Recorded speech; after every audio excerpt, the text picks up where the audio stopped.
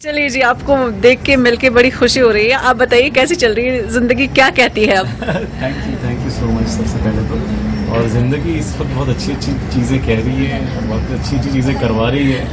और मैं बहुत खुश हूँ और मैं चाहता हूँ कि ऊपर वाला ऐसे ही कर्म बनाए रखे सर पे और जो जनता का प्यार मिल रहा है वो भी ऐसे ही बरकरार रहे अच्छा ना लोगों के बीच में आपकी अलग सी पहचान हो गई और द बेस्ट पार्ट कोई उसका पैमाना नहीं है कि ये अ, हीरो का दोस्त है या विलन के साथी है या फिर ये वो है जो मिशन मजनू में साथ में हो जाता है दुश्मनी भी निकाल लेता है। मतलब इतना अजीब सा कॉम्बिनेशन और एक एक्टर के लिए बेस्ट कॉम्बिनेशन है। मुझे बताइए आप खुद को कहाँ आंक रहे हैं अब? अरे thank you thank you so much सबसे पहले तो इतनी प्यारी बात कहने के लिए और मेरे लिए ये बहुत बड़ा कॉम्प्लीमेंट है जो आपने अभी कहा। मैं तो चाहता हूँ कि लोग इसी तरीके से याद रखें कि अच्छा काम करता है और जो करता है वो ईमानदारी से करता है। बस इतना भी अगर लोगों को याद रहे तो मैं मतलब हमेशा खुश रहूँगा और ऊपर वाले को शुक्रिया अदा करूँगा। बिल्कुल अब मुझे ये बताइए कि ये वाली जब फ़िल्म आ रही है तो नाम बड़ा ही अनोखा सा है। तो उसमें फिर आपका क्या योगदान है? आपका कौन सा रूप दिखाई दे रहा है? आ, नाम जितना अनोखा है। कहानी भी उतनी मतलब प्यारी सी सिंपल सी और बहुत ओरिजिनल है। शिव शास्त्री बालगोवा जब मैंने स्क्रिप्ट पढ़नी शुरू की तो मैं एकदम मतलब उसने मुझे एंगेज कर लिया था एज एन ऑडियंस और मैं पढ़ता गया और जब मेरा किरदार ऐड हुआ, उसमें तो मुझे और मज़ा आया। और बड़ा ही क्यूट सा कैरेक्टर है। सिनेमन सिंह मेरे कैरेक्टर का नाम है, जो कि एक इंस्पायरिंग सिंगर है। तो उसने इसलिए अपना नाम सिनेमन सिंह रखा है जैसे हनी सिंह वैसे सिनेमन सिंह वो गाना गाना चाहता है लेकिन मतलब उसमें कुछ खास हो नहीं पा रहा है तो गैस स्टेशन भी चलाता है। और उसकी एक बड़ी हॉट सी गर्लफ्रेंड है नरगिस और वो शादी करना चाहता है लेकिन काफ़ी अड़चने हैं बीच में। और किस तरीके से अड़चनों को दूर करने के लिए शिव शास्त्री बालगोवा और एल्सा हमारी हेल्प करते हैं और कैसे हम उनके काम आते हैं वो एक पूरा ट्रैक है। तो एक, एक सिंपल सी बात आपसे जानना है। आपको म्यूज़िक कितना पसंद है? गाते हैं नहीं गाते हैं? म्यूज़िक तो मेरा मतलब बहुत पहला दूसरा प्यार जो भी मतलब बोले मैं तो संगीत को लेके मैं बहुत ज़्यादा पैशनेट हूँ। मुझे तो आप रात भर गवा लें मैं गाता मुझे बहुत पसंद है म्यूज़िक तो हैव यू लर्न और it's just Kishore Kumar types का कुछ है आपका माहौल? मैंने सीखा तो नहीं है बट मैं सीखना चाहता हूँ। और ये फ़िल्म भी आपको वो चीज़ बताएगी कि सीखने की कोई उम्र नहीं होती है। तो बट हाँ किशोर दा मैं किशोर भक्त हूँ अच्छा। बचपन से।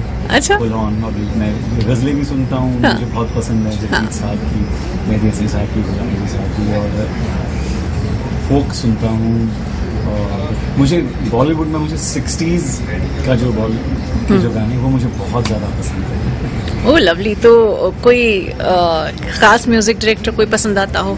मुझे S D Burman R D Burman Salil Chowdhury बहुत ज़्यादा पसंद है। दैट्स नाइस और आज के समय में फिर किस तरीके का म्यूज़िक आपको पसंद आ रहा है? आज के समय में अभी वाकई बहुत अच्छे अच्छे म्यूज़िक डायरेक्टर्स आए हैं। और मुझे वैसे ए आर रहमान साहब मतलब हर जनरेशन हाँ, के जब से वो- आए हाँ, से वो- बहुत पसंद है। इनफैक्ट उनका जो आखिरी जो एल्बम था वो भी बहुत कमाल था। सिंगर्स कौन से अच्छे लगते हैं? क्योंकि आप खुद एक अरिजीत सिंह बहुत पसंद हैं बहुत ज़्यादा पसंद है। सोनू निगम साहब भी मतलब वो तो मतलब एवरग्रीन एवरग्रीन एवरग्रीन एकदम। मुझे अजय अतुल साहब का म्यूज़िक बहुत पसंद है। और सिंगर्स में क्या कहूँ? अरिजीत सिंह। चलिए काफ़ी है इतना मेरे लिए। मुझे अ, ये बताइए कि अब जब अपने आप को अलग अलग तरीके की फ़िल्मों में पाते हैं तो और कौन सी तरीके की फ़िल्में या वेब सीरीज़ या कोई भी एक पर्दे पर आने वाला काम कोई है जो अभी करना बाकी है? बहुत बाकी है यार अच्छा। बहुत करना बाकी है। मैं तो जैसे टाइगर श्रॉफ साहब ने कहा है कि अभी तो मैंने स्टार्ट किया है। तो अभी तो बहुत सारा काम करना बाकी है। मैं तो काफ़ी सारे डायरेक्टर्स के साथ काम करना है काफ़ी सारे एक्टर्स के साथ काम करना है और लिस्ट तो बहुत लंबी है। किरदारों की भी बहुत लिस्ट लंबी है। आई होप कि मुझे काम मिलता रहे। बस ये चाहता हूँ कि मैं मतलब I die with my shoes on अरे भगवान आप डाई करे आपके दुश्मन आप क्यों डाई करेंगे? अच्छा मुझे ये ना पीछे का पोस्टर थोड़ा सा एक्सप्लेन करके बताइए क्योंकि ये बड़ा इंटरेस्टिंग सा लगता है मुझको पोस्टर ये रॉकी का पोस्टर है जिसमें अनुपम सर का फेस उन्होंने मर्ज किया है।